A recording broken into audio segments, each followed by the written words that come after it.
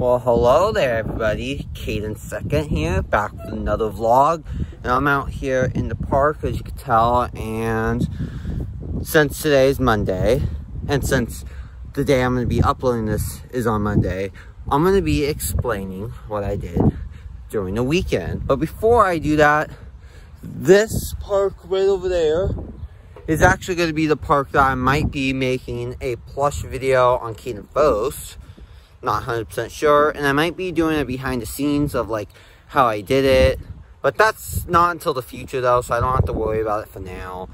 But um, yeah, anyways, so what I did during the weekend, I did some good stuff. So on Saturday, my friend Ethan on Ethan just randomly came over to my house.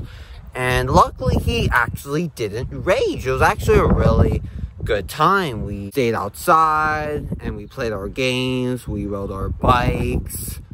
Well, technically all the bikes that I have at my house because Ethan didn't bring any of his bikes. We played some video games and we ate and it was really great. And on Sunday, since Sunday, of course, was Mother's Day, I did a little bit of stuff for my mom. I did some chores that I normally don't do because I normally don't really do chores that much but on Sunday on Mother's Day I actually did some chores for her and we even played some Monopoly during the evening but she won now. It's very sad.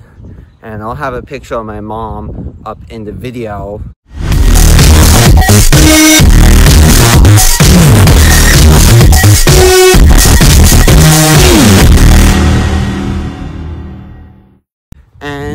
yeah. So basically, this weekend, I had a fun time with Ethan and my mom. And I mostly just stayed at the house.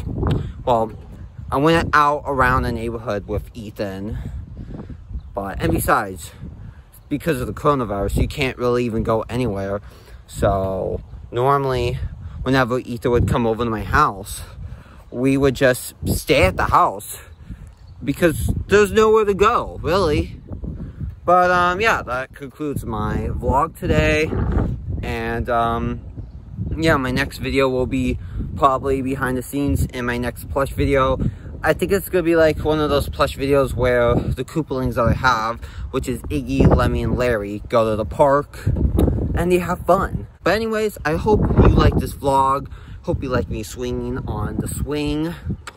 And yeah, make sure you subscribe like this video, put down a nice comment, and turn on notifications. See you in the next video.